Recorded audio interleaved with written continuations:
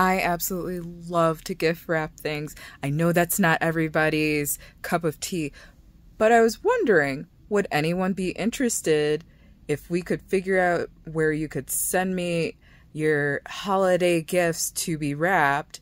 I'll wrap them up for you and then send them right back. We'll come up with some sort of uh, waiver contract saying I'm not going to take your stuff because I'm not going to take your stuff. I truly just enjoy it. Um, so if you're interested, let me know. And a quick little story time.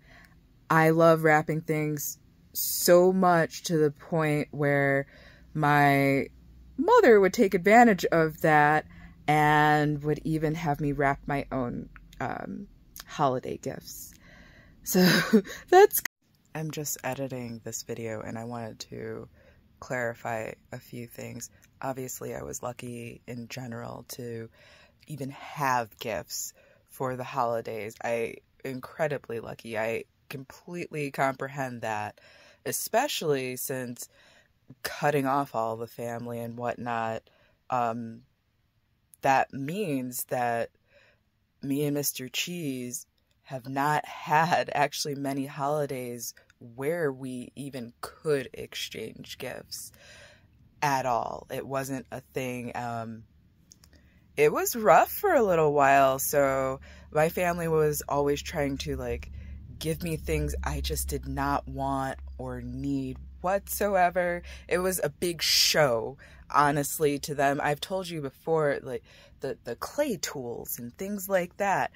They could have given me just that and I would have been elated. And maybe some clay to go with it. But that, like, literally just that. But instead, it was like this big pomp and circumstance. And, um, yeah, I obviously did not want that because I was so willing to give all of that up. And yeah, we've worked hard for everything we have so incredibly hard uh, uh, I'm sure many people would say that uh, that knew me that things were just given to me all the time. Uh,